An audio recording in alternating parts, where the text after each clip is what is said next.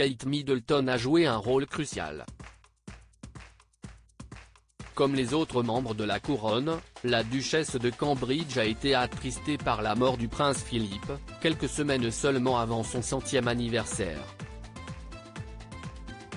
Aux obsèques de l'époux de la reine Elisabeth II, la maman de George, Charlotte et Louis a décidé d'œuvrer en coulisses pour que les princes William et Harry s'adressent la parole.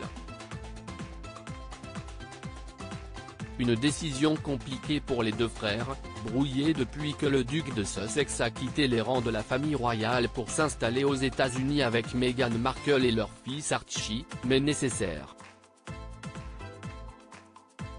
Et si les deux hommes entretiennent aujourd'hui des relations glaciales, ils ont pu compter sur l'aide de Kate Middleton.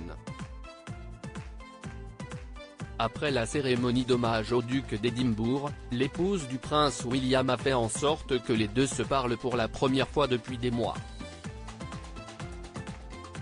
Secoué, comme son époux, par l'interview confession que les Sussex sont accordés à Oprah Winfrey, Kate Middleton a fait preuve d'un sang-froid à toute épreuve.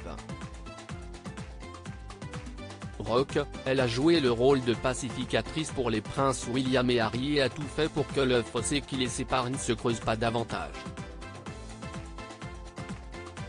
Et si la duchesse a été blessée par les propos de Meghan Markle, elle n'a montré aucun signe alors qu'elle discutait avec le prince Harry lors des funérailles du prince Philippe, réussissant même à persuader le prince William de se joindre à lui.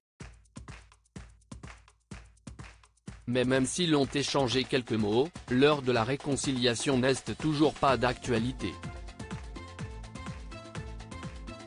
Les discussions après les funérailles du prince Philippe ont été un début, mais elles étaient clairement très tendues et n'étaient qu'un mouvement d'ouverture, a affirmé un expert de la couronne auprès du Sun. Le prince Harry, plus heureux à Los Angeles et si l'image des deux frères, unis dans la douleur, discutant après les obsèques de leur grand-père laissait présager un futur apaisé, il n'est né rien. Si cela est un bon début, comme l'a confié un proche de la famille royale, cela ne présage en rien une meilleure entente sur le long terme.